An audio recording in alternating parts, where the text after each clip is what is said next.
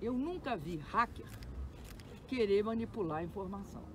Bom, mas aí tem um historiador que fala um, faz um raciocínio muito interessante. O raciocínio, se eu vou conseguir reproduzir para vocês, é o seguinte: é o Fernando Horta, que fala o seguinte: primeiro, se há, se, se há vazamento, foi um hacker.